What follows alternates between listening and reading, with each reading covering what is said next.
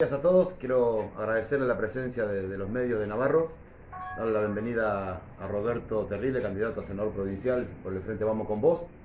Eh, agradecerle que se haya llegado hasta Navarro a, acompañarnos, para nosotros es muy importante. Gracias. Y a todos los chicos de la lista que trabajaron con nosotros, eh, al compañero Molina de General Rodríguez, que también candidato a concejal. Así que bueno, estamos a disposición para los que quieran preguntar. Bien. ¿Cómo están? Eh, buenos días ante todo. Bienvenido al, candidato. Eh, bueno, ¿cómo están de cara a las elecciones? Este, ya tenemos un panorama diferente a, la, elección anterior, hay un resultado, ustedes necesitarían crecer mucho. ¿Cómo, cómo ven ese? ¿A nivel local o a nivel nacional? Perdón. Bueno, a nivel local estamos trabajando, como te decía antes de las pasos, Alfredo, eh, caminando los barrios, estando con la gente, haciendo reuniones, eh, escuchando a la gente, que es lo principal. Eh, sabemos que es un trabajo difícil, pero no imposible. tratar de captar los votos que, quedaron ahí, que son muchos, muchos votos en blanco, muchos votos que gente no fue a, a votar. Y, bueno, trabajando día a día y lo principal de todo es no mentir a la gente. La gente hemos ido a los barrios y, está cansada de las mentiras de los demás candidatos, que muchos de ellos ya fueron concejales. Nosotros somos gente nueva, eh, que estamos en esto para tratar de cambiar un poco la historia de Navarro. Y, bueno, contento porque nos reciben, nos escuchan.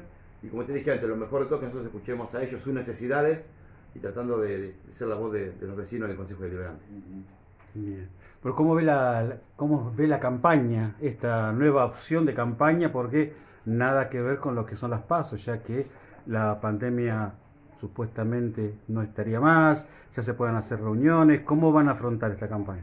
Sí, milagrosamente de un día para el otro se terminó la, la pandemia. O sea que la cura de la pandemia era un garrotazo grande en la paso, como recibió el frente de todos.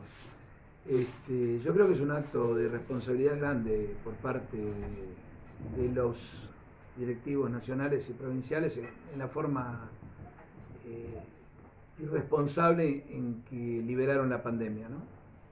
Pero bueno, eh, no, voy a, no nos va a sorprender las incongruencias que, viene haciendo este gobierno desde, desde inicio de su gestión. ¿no? Tuvimos un país paralizado por más de, más de un año, con 40 casos, 50 casos en toda la Argentina y no había uno o dos muertos y en el peor momento de la pandemia, con 13.000 casos por día y con 1.000 muertos diarios, este, liberaron la pandemia. O sea, se terminó la pandemia, no hay que usar barbijo, eh, estamos todos con, una vacuna, eh, la gran mayoría de los argentinos, más de la mitad, este, cuando en los países desarrollados del mundo, con dos vacunas y con la cepa delta, que, bueno, que lo vemos y es de público conocimiento, salen todos los medios nacionales, está haciendo estragos. Este, es una campaña difícil, como la veo difícil, este, difícil por la falta de, contacto con la gente, esto tenemos que estar alejados, que costó llegar, bueno, hoy con la liberación eh, de la pandemia por ahí se hace más, eh, más accesible la charla cara a cara con el vecino, ¿no? sobre todo en los, pueblos de la provincia de Buenos Aires. Eh, yo creo que que la Argentina necesita un cambio y que tanto juntos como todos eh, han gobernado y bueno, los resultados están a la vista. Nosotros venimos a ofrecer una alternativa distinta, superadora, este, ni de un lado ni del otro, sino del lado de la gente. Y creo que es lo que nos está faltando a los argentinos, juntarnos, armar un proyecto de país a futuro. Eh, yo creo que tenemos que volver a armar un contrato social con los distintos actores de la política, de todos los espacios. Tenemos que armar en este contrato, incluiría sindicatos, incluiría sectores de la industria, del comercio, de las organizaciones sociales que hoy son una realidad. Armar un proyecto de, país creíble y a futuro, ponernos de acuerdo y bueno, empezar a gobernar para sacar al país del agujero en que estamos. ¿no? históricamente nunca estuvimos tan mal. Cuéntenos un poquito quién es usted para aquellos que lo están mirando y escuchando y cuáles son las propuestas que tiene para la provincia. Bueno, yo soy Roberto Terriles, yo soy candidato a primer senador por la primera sesión electoral. Para los que no, no, tienen conocimiento, la provincia de Buenos Aires se divide en ocho sesiones electorales. En cuatro se eligen diputados provinciales y en cuatro sesiones se eligen senadores. Eh, Navarro pertenece a la, primera sesión electoral que está compuesta por 24 distritos, de los cuales es una, una sesión electoral bastante atípica en el sentido que hay una gran parte del conurbano bonaerense eh, dentro de nuestra sesión y tenemos pueblos rurales, como por ejemplo en el que estamos ahora, Navarro, Mercedes, Suipacha. Este, la propuesta concreta para la provincia es básicamente ese reflejo de lo que, lo que hace falta en Nación. ¿no? Acá, si no nos ponemos de acuerdo, si no conseguimos una mayor coparticipación, y esto se logra a través del acuerdo de, todos los eh, actores, sean de Juntos, sean del Partido de Todos, sean de la izquierda, de, bueno, PER, que ahora es nuevo, eh, igual que nosotros, ¿no? Somos un nuevo espacio. Y, bueno, tratar de, conseguir eh, desde ya mayor coparticipación que, que, la provincia lo necesita. Sin recursos es imposible eh, generar obras, generar proyectos.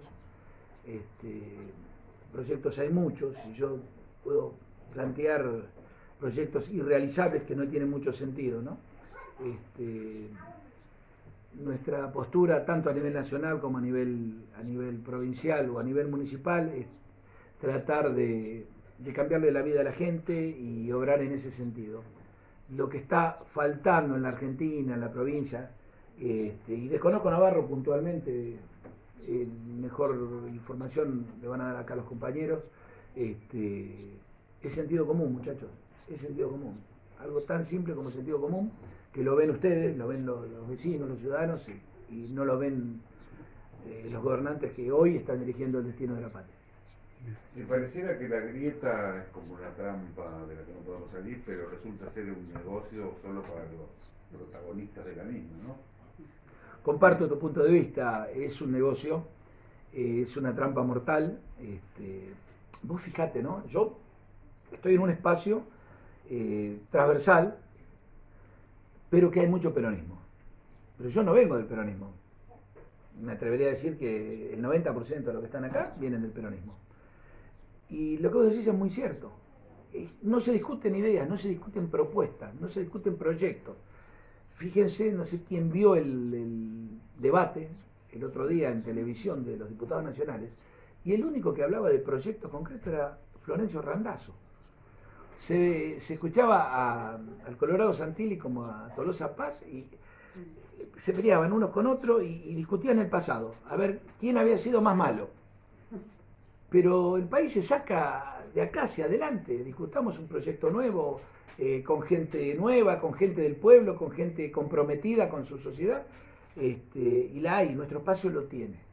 De todos modos, eh, hablando de propuestas alternativas, la gente pareciera irse a los dos extremos, la extrema derecha y la extrema izquierda. Y en el debate mismo se vio que Rondazo y Houghton ocuparon como un, como un lugar diferente, ¿no? ¿Sabes por qué? Eh, porque ya fomentan desde los medios nacionales. Los debates eh, estaban ya pautados por la productora. Entonces vos fíjate cómo fomentan la dieta. Era juntos y todos. Cambiemos y el frente para la victoria. Muy bien. Por otro lado lo pusieron a Esper con la izquierda. Y estaba Houghton con Randazo. Yo me mataba a risa cuando, cuando le tocaba al flaco discutir, o sea, o debatir contra, se suponía, Cintia Houghton. Te dabas cuenta que, acá iba a ser eh, presentar propuestas porque no, no, no hay adversidades, o sea, Acá el, que está destruyendo la, posibilidad de crecimiento y desarrollo del pueblo es el frente de todos, no es ni Cynthia Houghton, ni Esper, no sé si se entiende a lo, que apunto, ¿no? Pero bueno, el negocio para la política y para los medios es la grieta, porque es lo que ven. Y es lo que lamentablemente impide, es tanta la bronca que, que tiene hoy el ciudadano, que creo que fueron a buscar el garrote más grande para pegarles al gobierno. Y el garrote más grande fue junto. Este, yo lo percibo así. De todos modos, no hay que olvidar que Rondazo fue funcionario de Cristina hasta el último día, ¿no? Correcto, al igual que Ocaña. de alto nivel. Correcto, al igual que Ocaña. al igual que Ocaña. Fue funcionaria de Cristina y es la segunda candidata a diputada nacional. ¿Alguien lo dice? No, nadie. Ya claro, yo vengo de Cambiemos. O sea, yo de Cambiemos te puedo hablar muchísimo de adentro. De hecho, yo fui funcionario, yo he renunciado por televisión exponiendo mis disidencias con el ministro, que se estaba, de hecho estaba gestionando muy mal. Estoy hablando del área de salud, ¿no? donde yo dirigí el, hospital de Moreno, un hospital de mil y pico de, empleados, que, da, cobertura a 800.000 habitantes. O sea, yo he sido crítico de adentro, eh, pero mm, hay gente buena y mala en todos lados. Muchos me dicen, no, pero fíjate que Randazo es peronista o que estuvo con Cristina. Ya te lo contesté. ¿Ocaña? ¿Alguien lo dice? Nadie. Ahora, peronistas, Santilli, viene del peronismo. Rodríguez Larreta, viene del peronismo. El primer candidato a senador por, por Manes, eh, Joaquín de la Torre, viene del peronismo. El vicepresidente de, Macri, que en la última elección, el candidato, Pichetto, viene del peronismo. Ritondo, el jefe de bloque de, diputados nacionales de, de, Cambiemos, viene del peronismo. Una de las salidas no es recuperar el perfil de los partidos políticos, por ejemplo, el peronismo, el radicalismo. No, es recuperar eh, los sellos, ¿no? decir, que podrían estar vaciados de contenido. Mira, eh, yo creo que cumplieron una, etapa, ¿no? Si vos analizás la historia, arrancamos de unitarios y federales, después pasamos de de radicales y, conservadores y después eh, pasamos de peronistas a radicales y, los radicales desaparecieron, nació Cambiemos y fíjate que una porción muy chica del radicalismo, este, donde sacó creo que en una elección el uno y pico por ciento, que, fue Moró, ¿te acordás? 2003. Este, por eso digo yo, el valor de los sellos yo lo veo irrelevante, yo le doy eh, valor a las ideas y a las propuestas y a la y a la capacidad de la gente. Como vos dijiste, Randazo sí fue parte, le voy a contestar, no le voy a sacar la cola a la tijera, a la tijera, a la, jeringa, como dicen. Este, yo creo que el flaco ha sido un hombre que demostró el valor de la palabra por encima de los intereses personales. Este, está claro que, bueno, no es algo que me compete, pero lo conozco de adentro porque, bueno, he hablado con él eh, íntimamente, él es muy amigo de, la persona, del, irresponsable que me convocó a ser parte de este espacio, eh, el doctor Franetovich, que fue intendente de acá del, vecino partido de Chivilcoy. Este, bueno, me propuso la idea. ¿Eh? Franetovich también fue ministro peronista de la provincia. Claro, fue ministro de Agricultura de la provincia de Buenos Aires. De hecho, nosotros somos amigos pues nos conocimos en la facultad. Yo doy clases, yo soy profesor de la Facultad de Morón y doy clases de Derecho Ambiental. Hay una parte en la materia eh, donde se da de Derecho Minero, Derecho, derecho Agrario. Y me lo cruzo de casualidad un día en Moreno y le digo, vos tenés que venir un día a dar clases, sos ministro de Agricultura, venir a dar una clase en la facultad. Sí, Terry, que esto, que lo otro. Siempre hemos mantenido una buena relación de amigos. Este, por eso te digo que he participado en, en un almuerzo, cenas con el Flaco Randazo, donde el tipo me propone este, la, creación de un espacio nuevo y ahí surge la charla íntima donde, donde él me cuenta que él quería participar en las y Cristina no lo deja participar en las. ¿Qué hace el flaco? El flaco se va a la casa. Cristina le ofrece ser candidato a gobernador de la provincia de Buenos Aires, que si el flaco hubiera aceptado hubiera sido gobernador de la provincia de Buenos Aires. Porque yo le digo, pero si vos ibas a La Paso la ganabas, le ganabas a Scioli. No sé si le ganaba, pero yo quería participar. Y creo que es el derecho que todo ciudadano tiene de participar en democracia. Le dijo que no, se enojó, se peleó y se fue. Sí, sí, sin lugar a duda. Después en el 17 Cristina creo que lo, convoca y lo va a buscar, que Cristina va de candidato a senador y el flaco va de candidato a diputado eh, en primer término. Ella le propone ser candidato a diputado, el flaco le dijo que no o sea que de hecho les puedo asegurar que, no le han faltado ofertas a Randazo para, integrar eh, otros frentes políticos, o sea, de, uno, de, los dos grandes, ¿eh? que bien recibido los dos grandes, y él optó por algo nuevo, por algo distinto. Concretamente nos, nos explica, nos invita a votarlos, las razones por las cuales tenemos que votarlos. Mirá, las propuestas de, Vamos con vos son, son reales y son concretas. Hasta ahora se pelearon todos, nadie ha hecho propuestas. En el área de, educación, eh, Florencio propone eh, crear eh, por ley la educación como actividad esencial, como lo es la, fuerza pública, la policía. Fíjate que la policía no, no, no hay paros. Bueno, prohibir los paros en, el área educativa, los paros docentes. O sea, que se discuta con los chicos adentro.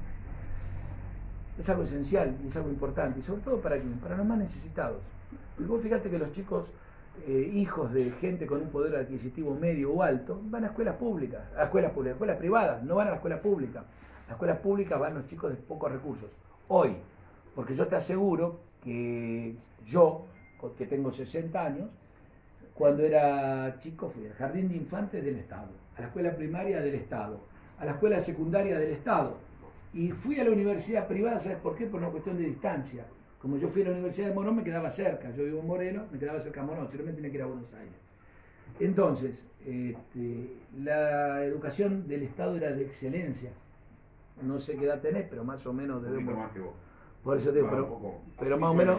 ¿Eh? Cinco años más que Por eso te digo, más o menos estamos. Y acordate que los que iban a, bueno, los que iban a la escuela pública eh, eran los tipos que, tenían un buen rendimiento. Y los vagos, cuando los echaban de la escuela pública, terminaban en la escuela privada. Hoy no, hoy se, invirtió esto. Hoy, si no es una escuela privada, este, los chicos corren riesgo de no aprender. Y no, es lógico, te hacen paro por cualquier cosa. Bueno, así estamos. Una de las propuestas, por ejemplo, en educación es esta. En materia de trabajo, en materia de trabajo, este, Florencio propone crear una especie de Tinder, que es una aplicación de, internet del trabajo, ¿no? Que en lugar de buscar parejas, tomar la fuente del ANSES, donde, donde están las, eh, la mayor cantidad de, argentinos eh, en, etapa laboral, donde se destaca eh, qué actividad tienen, porque hay mucha gente que hoy cobran planes y que tienen las necesidades y requerimientos del área laboral y este, conectarlos. Entonces, ¿qué, ¿cómo sería el tema? Suponete que una, empresa necesita eh, un tornero. Tenemos un tornero en el Banco de Anser que está cobrando un plan. Se le consigue el trabajo. Se le, se le retira el, el plan pero ese plan por dos años se lo da la empresa, como subsidio a la empresa. Y por dos años se le, se le exime del pago de cargas eh, patronales y cargas sociales. Lo seguiría cubriendo el Estado, como fomento para, para que eh, comience a reactivarse el área de trabajo. El área de trabajo es fundamental.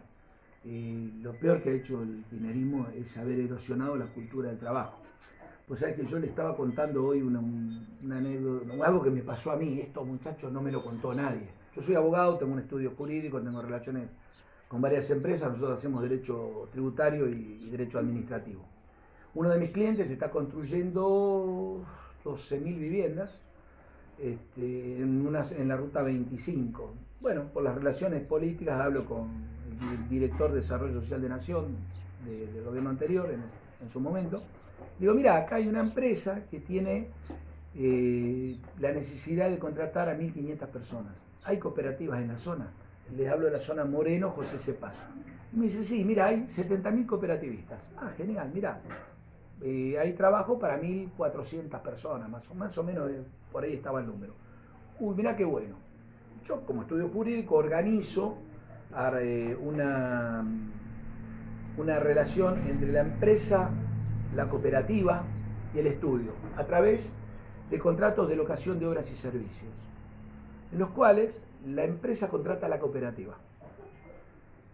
Le pagaba al, más o menos el promedio al cooperativista la diferencia entre el salario que, que, financiaba el Desarrollo Social de Nación a el salario de convenio de UOCRA.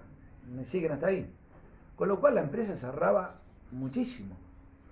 Este, a su vez, la empresa le pagaba al estudio por todo el manejo administrativo de, y, contractual entre, con la cooperativa un 30% de la plata que se ahorraba. Y de ese plus, un 30% volvía a la cooperativa para ser redistribuida en obras o en, los cooperativistas. Muy bien. Fíjate que era un círculo, es un círculo virtuoso. El cooperativista, el, empleado, percibía un 300% más de salario. El estudio jurídico ganaba y a su vez la empresa le quedaban 25 mil pesos limpios por, por cada empleado. O sea, ganaban todos. Bueno, bárbaro, vamos a arrancar, vamos a empezar. Armamos los contratos, a, su vez la, empresa eh, y la cooperativa, la cooperativa le facturaba por el trabajo a la empresa, era todo en, un encuadro eh, legal, un marco que daba eh, posibilidad de trabajo. bueno, me dice, vamos a arrancar con otras obras que estaban haciendo ahí en la zona de Paso Rey, mandame 160 personas. Bueno, perfecto. mes de diciembre, no lo olvido nunca. ¿Cuántas personas fueron a trabajar? De 160 sobre un área que había 70.000 cooperativistas. Te lo estoy preguntando. El 20%. El 20% serían 32 personas, ojalá. Te la voy a hacer fácil. Fueron 5 personas a trabajar.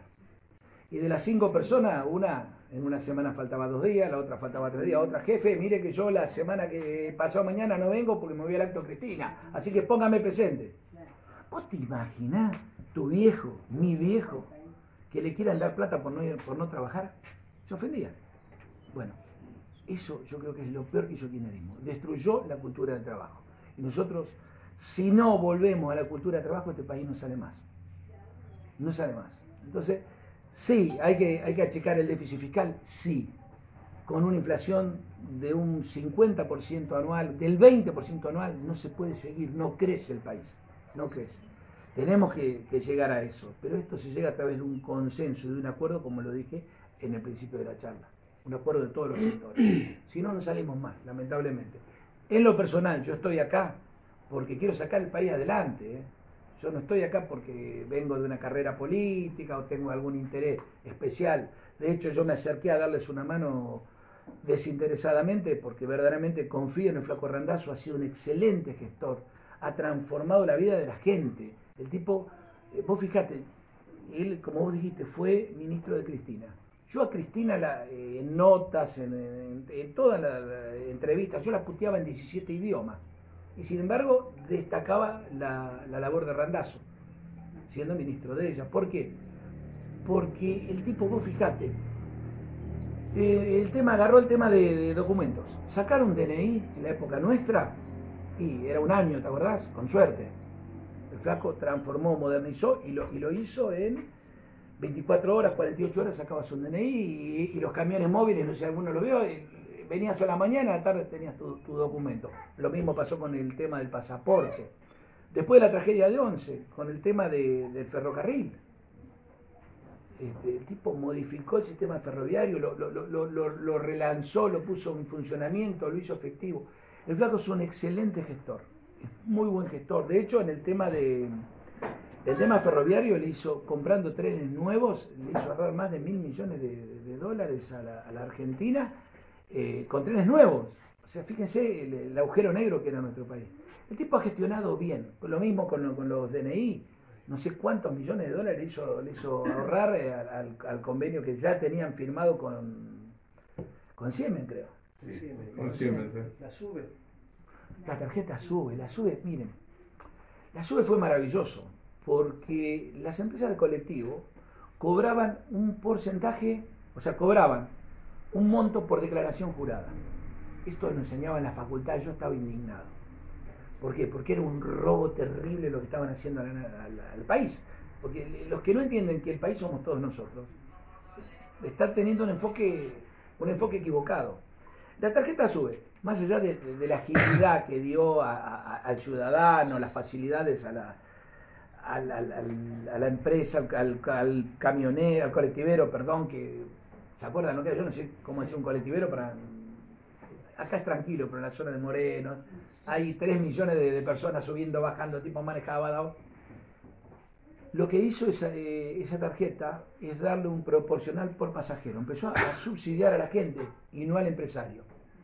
¿Qué hacían los empresarios? Los empresarios, supónganse que tenían 200 colectivos, de los cuales funcionaban 100, 50 funcionaban a full y 50 funcionaban la mitad. Ellos declaraban los 200 colectivos que funcionaban a full.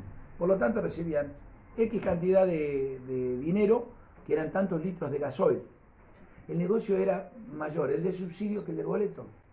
Bueno, la SUBE vino a modificar esto.